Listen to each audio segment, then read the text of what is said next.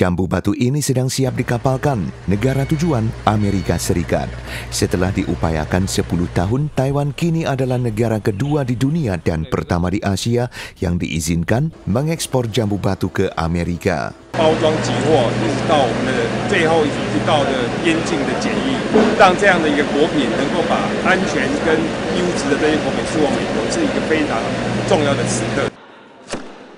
Sama-sama diekspor ke Amerika, jambu batu Taiwan ukurannya sering lebih besar dari satu telapak tangan.